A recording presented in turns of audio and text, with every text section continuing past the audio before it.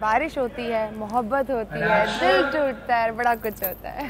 and so for me this is a love letter to Karachi. तेरी दूरियाँ मुझ पे गुनाह है दिल चाहत इसकी गवाह है।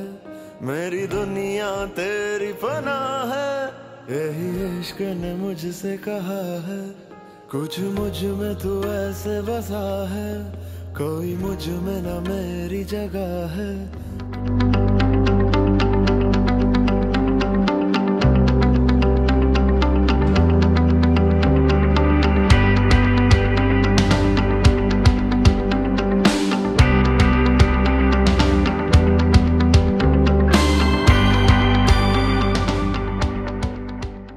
ज़िंदगी हमने कराची के बारे में सुना था कि कैसे हुआ करता था और कितना खूबसूरत शहर था। दुनिया जहाँ से लोग आते थे बहुत वाइब्रेंट जगह होती थी एंड uh, अपने बड़ों से हमने ये बात सुनी थी। And it's taking us back to a time which may be very few people know about and even if they know about उनको उन्हें देखा नहीं। होता है कुछ गाने के जब आप बना रहे होते हैं। आपने ज़िंदगी के ऐसे मौके में गाना लिखा है कि आपकी कुछ यादें आप एक जगह ले वापस ले जाती हैं उस इवेंट पे जहाँ ये आपने धुन सोची थी।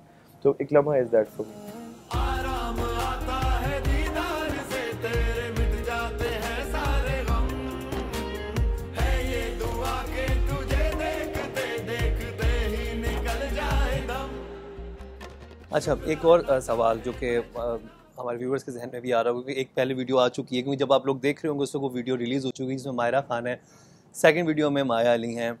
आप थर्ड वीडियो में भी कोई बड़ी स्टार ही होंगी। तो अब ये आपके वाले साहब ने अर्ली टू थाउज़ेंड में किया था, जिसमें उन्होंने बड़े बड़े बॉलीवुड स्टार्स रानी मुखर्जी, रवीना टंडन और माहिमा चौधरी वगैरह, जो निमिता काफ़ी सारे एक्ट्रेसेस थी, उसमें थी। तो क्या आप भी उनके नक्शे कदम पर चल के आपके जहन में वही एक रोड मैप है कि मैं भी इसी तरह बनाऊँ? एज फार एज जो मेरे वालद साहब वाली बात है ये ये कभी जहन में नहीं आया। ये ज़रूर आया कि उन्होंने अपनी वीडियो से बहुत तवज्जो दिया था। हर एक वीडियो का एक मकसद था एक स्टोरी लाइन थी। उन्होंने हर एक वीडियो को एज अ मिनी मूवी सोचा कि इसको मैं किस तरह से कोई चीज़ अपनी ऑडियंसेस को दूँ which is unique and special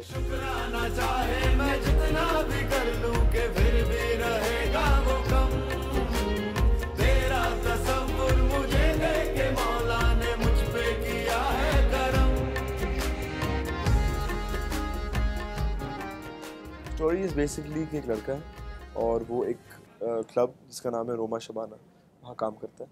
और ही एंड दिस गर्ल जो एक बहुत बड़े घर की uh, लड़की है जो माया जी का कैरेक्टर है उनका एक रोमांस रहा है और उनकी ये माइयों की रात है। वो अपने माइयों छोड़ के इनसे मिलने आते हैं और एक आखिरी मुलाकात है। और वो आखिरी मुलाकात दोनों की तरफ़ से ये है कि मे बी कुछ हो सके लेकिन वो जो एक सोसाइटल उस दौर में सोसाइटल डिफरेंस जो होता था एक लड़का एक क्लब में गाना गाता है वहाँ रहता है और एक यू you नो know, एक बहुत इस्टेब्लिश घर की खातून है उनका कोई इरा अलाउ ही नहीं करता था वो सोसाइटी अलाउ ही नहीं करती थी तो उनका वो एक ट्रेजिडी उस तरह से एंड दैट इज़ स्टोरी रक्स करता है दिल तुझ पे हुआ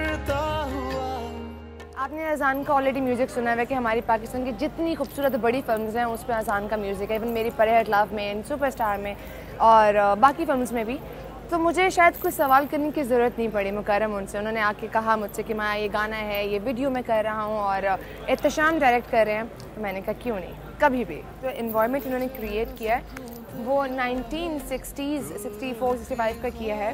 और अम, एहतशाम भाई चाहते थे कि जो मेरी लुक है वो हैदराबादी जो कि आप एक खड़ा दुपट्टा देख रहे हैं और ये सारा जो ज्वेलरी है। डिफरेंट थी थोड़ा सा मुझे लगा मैं इसको कैरी कर पाऊँगी कि नहीं but nineteen sixty four sixty five का era है। आप कैसे सो देखती हैं उस कराची को जो अब कहीं चला गया? मैंने तो देखा नहीं टू बी वेरी ऑनेस्ट मैंने तस्वीरें देखी थी लेकिन शायद कुछ लम्हे के लिए मैंने उस कराची को जिया भी है। और बहुत खूबसूरत सेट बनाया हुआ था और मुझे एक एक सेकंड के लिए ये भी लगा कि अच्छा जो अब हम लोग जिस पाकिस्तान में रह रहे हैं जो कराची है, क्या कभी ऐसा भी कराची था? बट अच्छा था। इन्जॉय किया मैंने शूट को और इस शूट के थ्रू मैं उस कराची में भी गई। मुकरम ऑनेस्टली जब उन्होंने मुझे कहा म्यूज़िक वीडियो है तो मेरी ये पहली music video by the way अपने करियर की। तो मुझे ये लगा था कि उसमें यही होता है, आके आपने थोड़ा सा डांस किया और इन्जॉय किया। बट निगाह जी इसको कोरियोग्राफ कर रहे हैं और मुझे ये लगा कि अम, मुझे याद है हमारा फ़र्स्ट डे था रिहर्सल का तो एहतशाम भैया उन्होंने कहा कि नहीं मुझे आपका हर वो जो एक है ना थाप जो होती है उस पर मुझे आपकी एक्टिंग चाहिए। मतलब आपने मुड़ना है तो एक उस पर बीट पे आपने आँसू बहाना है तो बीट पे तो वो मेरे लिए इतना डिफ़िकल्ट था कि मैं कैसे परफॉर्म करूँगी। लेकिन अम, एहतशाम पर निका जी की मदद से मैंने यहाँ तक किया एंड आई होप कि आप भी कल थे वहाँ पे आपने देखा हो कि अच्छा परफॉर्म किया है। बड़ी रोमांटिक ये जो है म्यूज़िक वीडियो है और बड़ा मुश्किल था अजान के लिए मेरे लिए भी, क्योंकि हम इतने अच्छे दोस्त हैं और इस तरह से उसको परफॉर्म करना, लेकिन छोटे छोटे मोमेंट्स इतने ज़्यादा हैं कि जो इतनी लंबी शूट्स हमारी होती रही तो मुझे लगा ही नहीं कि हम लोग क्या कर रहे हैं।